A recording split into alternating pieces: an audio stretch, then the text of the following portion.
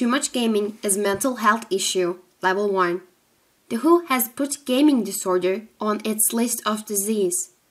Gaming disorder happens when people cannot stop gaming.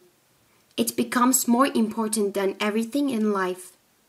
Someone with gaming disorder will play even if they know they have big problems. Gaming disorder happens if problems continue for a year.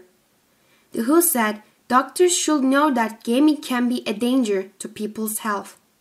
It can lead to big problems. Most gamers don't have a problem. However, some doctors believe that too much gaming is not a mental illness. One doctor said it is like coffee addiction. Not many people have problems because of coffee.